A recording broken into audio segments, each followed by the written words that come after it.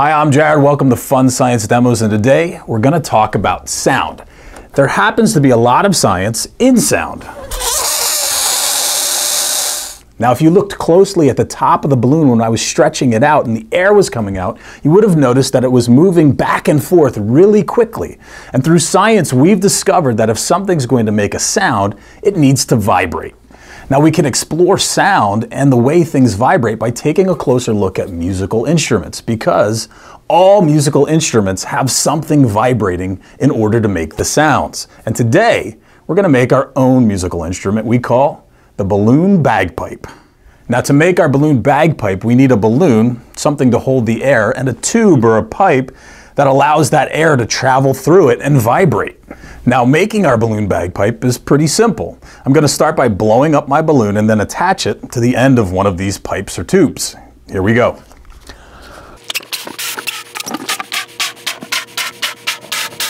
So we have our balloon all blown up and ready to go. Now, any size of balloon could work, but the bigger the balloon, the easier it is to attach it to the tube or the pipe. And the more material I'll have at the end of my balloon because this is the part of the balloon that's going to do the vibrating. So I have my balloon all blown up and attached to the top of my tube or my pipe. Now I have to get something vibrating in order to make a sound. And to do that, I need to stretch my balloon sideways so I have a nice tight film on the top of the pipe. And now I'm going to let some of the air rush through this part of the balloon. And you should see this part start to vibrate and you're going to hear a really cool sound from our musical instrument, the balloon bagpipe. Here we go. So we've zoomed in, watch right here and look for the vibration. Here we go.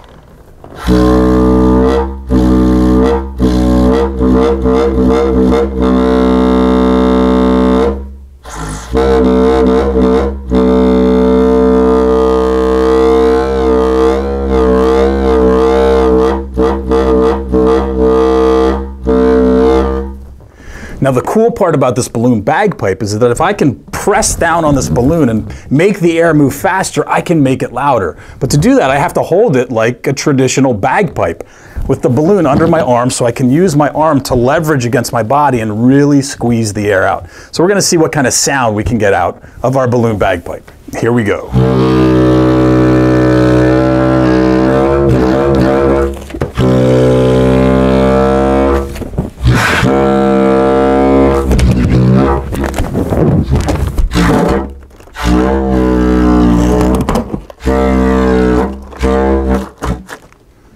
So let's try this again, but I wonder what would happen if we use a different size tube. This actually happens to be from a vacuum cleaner. We're going to attach our balloon and see what kind of sound we get, and also look for the vibrations.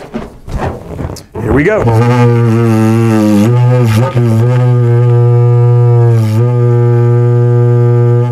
The sound actually seems a little bit higher pitched.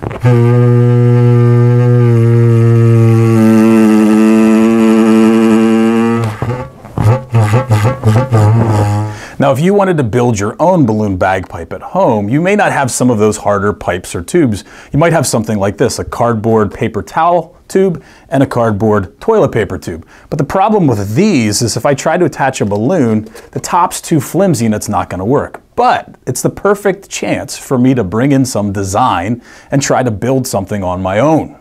So I need to make the top more sturdy. And to do that, I figured out that I could cut the tops off of different bottles when I hold it up, it actually fits perfectly. And if it didn't fit, I could always slice the tube so I could shrink the diameter and it could fit. I could use anything. I could use a piece of paper and roll that paper up. I could color that. I could design my tube and make it colorful and make it really look like an awesome balloon bagpipe. So let's build this and see how it sounds.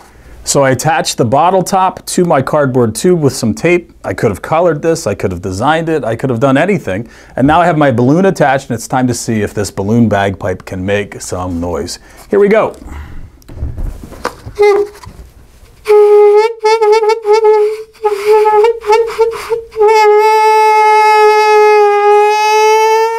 Beautiful.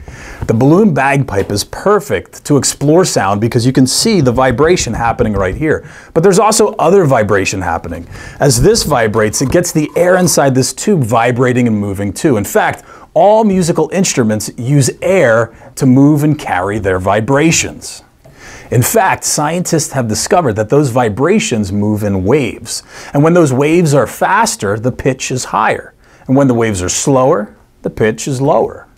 There's a lot of science in sound. In fact, why don't you explore some of the musical instruments you might have around you and see if you can find what's doing the vibrate. Or better yet, make your own balloon bagpipe and check out the science of sound. Just don't annoy anybody in the process. Thanks for watching.